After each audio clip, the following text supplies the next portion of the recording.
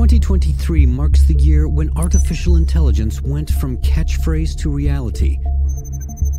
It's the first time that everyday people began to apply AI in their work and daily life.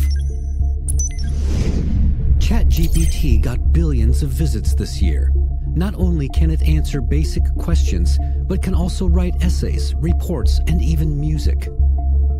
But some worry that it is developing too fast. In March, Elon Musk and a group of experts called for a six month pause in developing systems more powerful than GPT 4, citing potential risks to society. Later in November, there was a drama on OpenAI. Sam Altman, the founder and CEO of the company, was fired and then hired again in just a week.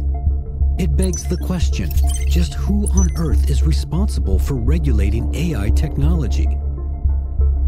In July, China published its interim measures for the administration of generative artificial intelligence services. The EU also passed the AI Act in December, aiming to become the world's super regulator in the industry.